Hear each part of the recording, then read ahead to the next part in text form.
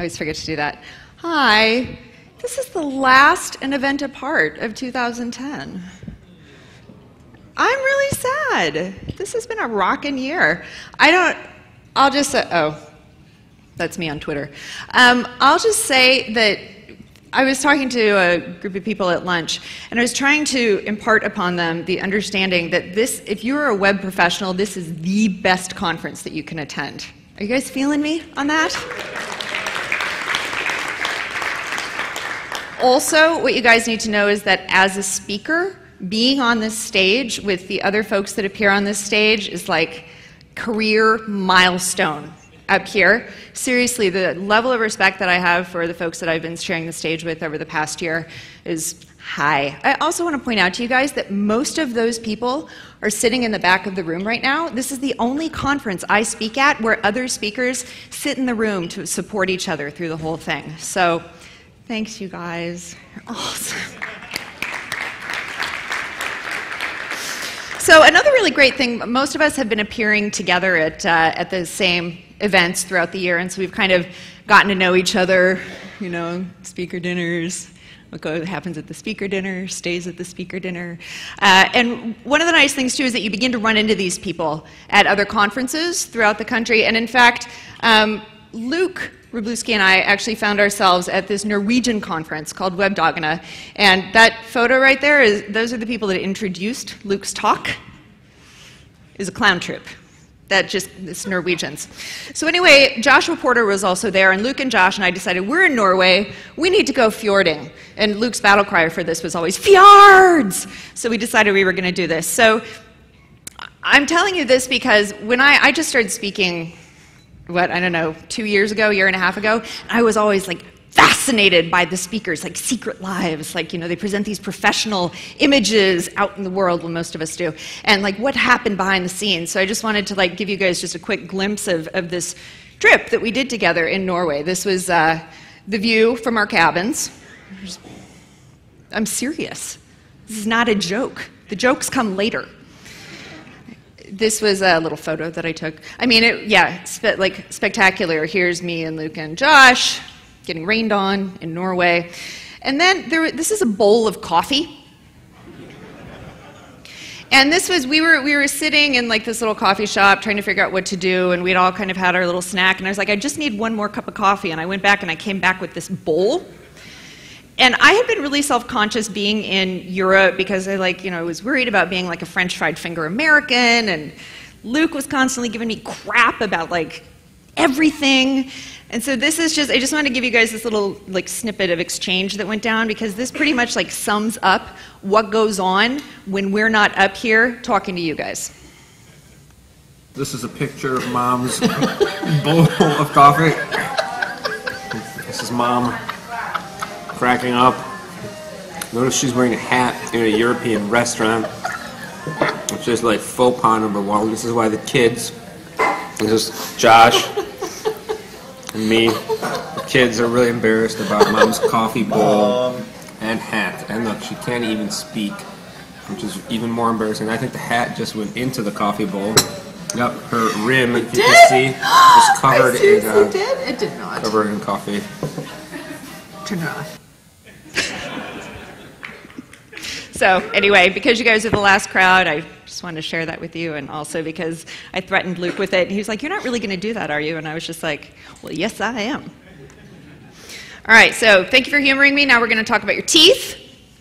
Is everybody done with the sugar that you just completed? Yeah, that's good. So, teeth are something that are very important to us in life. We use them to smile, we use them to speak, we use them to chew. And part of what we need to do to take care of our teeth is to visit the dentist. Now, I myself have some issues with visiting the dentist. I often am a little uh, worked up and a little nervous, but that's cool. It's all right because I'm willing to like go in and do what needs to be done in order to take care of my teeth. So, at some point, all of us as adults probably need to choose a dentist, right? Like some of us have dentists that we've been going to since we were kids, and that's fine. But at some point, you need to figure out who your next dentist is going to be. And this is a little bit of a touchy subject, right? Because you're going to have a pretty personal relationship with this person. This is somebody who's going to like have their hands in your mouth, right? So typically the first thing that we do when we need to seek out sort of healthcare or personal services is we go to our friends and our family members and we ask them for referrals. So let's say that you're at a party and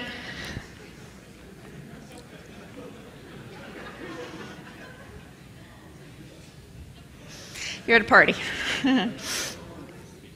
at Creative Commons, awesome. Uh, so you're there and you're surrounded by your friends and you're having a few drinks and everything's going great and all of a sudden you kind of remember, right, yeah, God, dentist. I keep forgetting to do this. I got to ask somebody about a dentist. So when the moment is right, you stop and you say, hey, man, who's your dentist? And you know, your friend will reply and you maybe get some additional testimonies. But unfortunately, after a party, you often wake up the next morning, you kind of forget what has happened. So instead, you go to the Google, because this is also what we do. And you type in Chicago dentist, and uh, this is what comes up.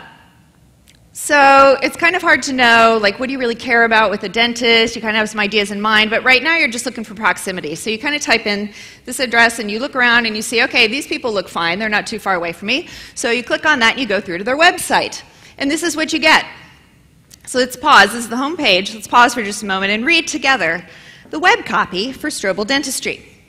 Our downtown Chicago dental practice prides itself on having spanned three generations. Dr. Greg Sr. opened Strobel Dentistry in this same location in 1932 based on a deep personal belief in the importance of each patient's oral care. Please contact us, etc.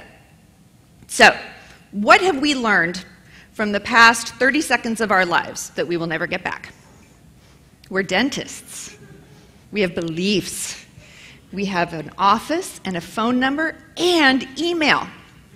So, when they sat down to plan this website, what was their primary objective? What was the message? What was the content that they were wanting to convey?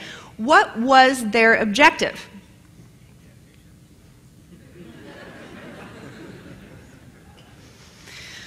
Okay, so that was not compelling to you. You go back, you click back again, and you kind of glancing, and you're like, okay, well, Big Smile Dental. Let's take a look. That sounds promising, casual, friendly. So you go onto Big Smile Dental's page. And once your eyes stop burning from the design, you go and you kind of start to glimpse around and you, look, you land on that big chunk of copy right there. If you're looking for a dentist in Chicago offering the best quality dental care at an affordable price, you came to the right place. And then you kind of start glancing through Smile Makeover, porcelain veneers, Invisalign, invisible braces, whiter teeth, etc. And you're kind of glancing through and, you know, you're like, well, yeah, maybe these people are kind of more telling me the story of what it is that they can do, right? So what's happening here is that with this copy, they're beginning to sort of reflect back to their target customers or patients the things that are important to those folks. So these are the things that are, are being highlighted and sort of the voice and tone that's being set. And so, in other words, this is more the message that you're getting. The design might suck, but the copy is at least something that you're interested in and not telling about Dr. Greg Sr. and their commitment to your oral health. So, what happens here? When we sit down to create our content about our products, about our services, uh, even support content, search results, all of these things, these are the things that we typically want to talk about. Just like a dentist, we want to talk about what we do cleanings, root canals, oral cancer screening. And you know, I'm sorry, but when this guy is thinking about choosing a dentist, what he is not saying to himself is, I really need to find a dentist who's going to be sure to do that oral care screening for me. This is not what's on his mind. What's on his mind is that he wants to feel safe.